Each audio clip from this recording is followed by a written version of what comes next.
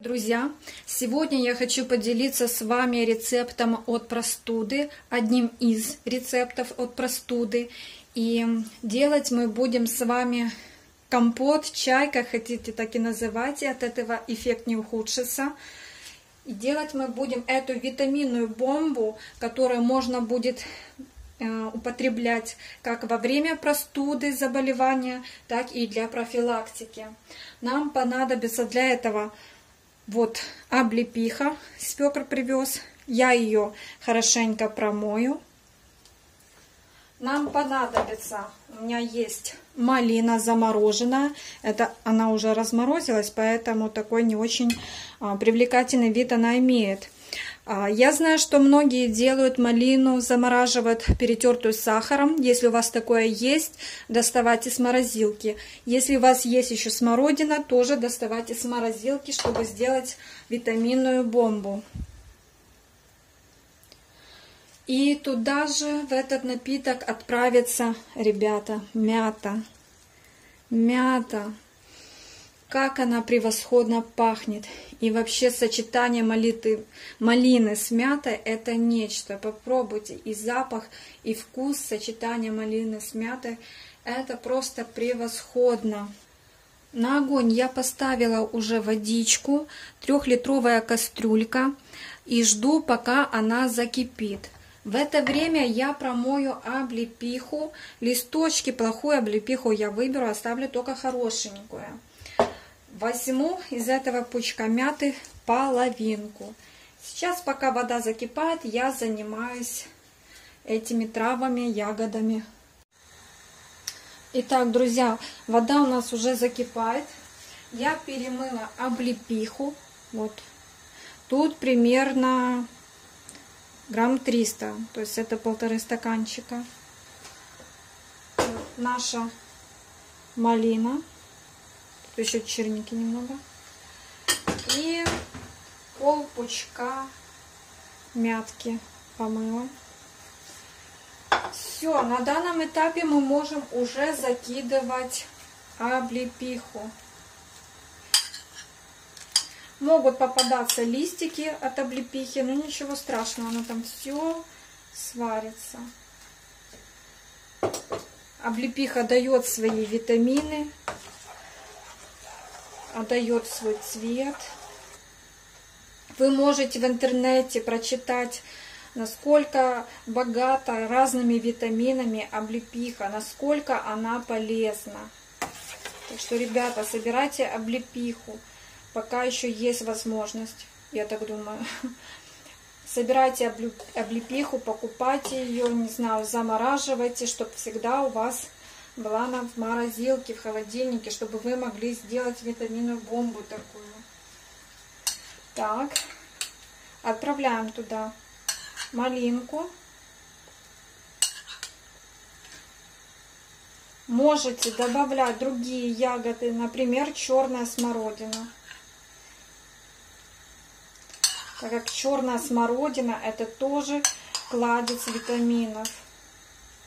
Витамина С и она хороша для желудка, для зрения. И от простуды тоже смородина подходит. Так, такой интересный приобретает цвет наш напиток. Смотрите, вверху такие ягодки. Так вот делаешь, а там от э, малинки розовая водичка такая. Красота. Так. Сейчас мы отправим туда нашу мяту. И я еще кину ложку сахара. Если вы будете малину кидать замороженную, перетертую сахаром, возможно, вам не понадобится еще заспать сахаром это все дело. Но у меня простая малинка была замороженная, я добавлю все-таки сахар, так как напиток получится кисленький. А если добавим сладости немного сюда, сахарку, то будет очень приятный кисло-сладкий напиток от простуды вообще тонизирующий, очень прикольный. Вместо чая можно делать. Так, так вот отрываем, кидаем. В принципе, можно вместе с а, вот этими э, бревнами кидать. Но я хочу только листочки.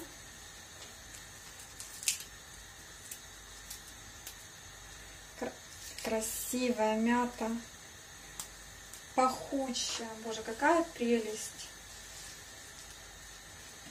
И насморк пройдет, и горло, и кашель.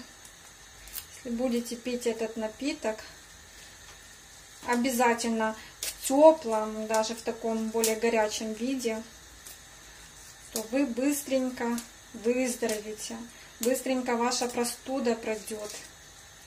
И для профилактики можно регулярно пить этот напиток. Для повышения тонуса, иммунитета. Это просто витаминная бомба. Смотрите, какая красота.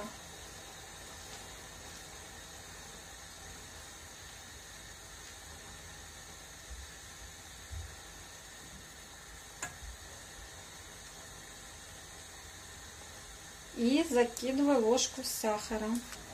Такую щедрую ложечку сахара с горочкой закидываю я сюда в этот наш витаминный напиток.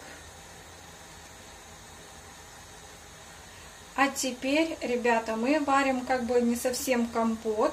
Нам нужно, чтобы все витамины сохранились. Мы сейчас дождемся, когда это только все дело вскипнет.